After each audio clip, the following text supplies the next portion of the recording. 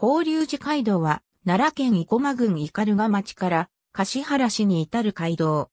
古代では、筋貝道と呼ばれた古代街道の一つであった。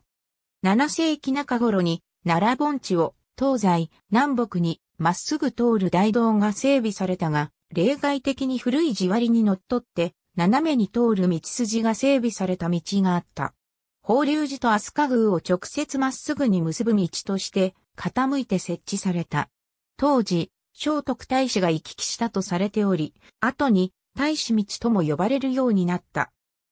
他の東西南北に通る大道が飛鳥時代後期に計画に基づいて設置されたとされるのに対し、筋街道は沿線上に弥生時代から古墳時代にかけての遺跡が多数見つかっていることなどから、その頃には部分的ではあるが、すでに成立しており、飛鳥時代に他の大道と共に延長、整備し直したと考えられている。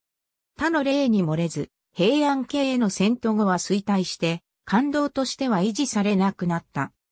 中世以降は、法隆寺街道と呼ばれるようになり、道幅は狭くなり、直線道路ではなくなったが、現在も北は、斑鳩町高安あたりから中街道と合流する橿原市心の口付近までの約 13.5km が道路やあぜ道として残っている。今も川西町ケツ先から近鉄黒田駅付近を経て、田原本町、宮古までの一部区間、約 3km ほどが斜めに、まっすぐ通る道路として、はっきり残っている。ありがとうございます。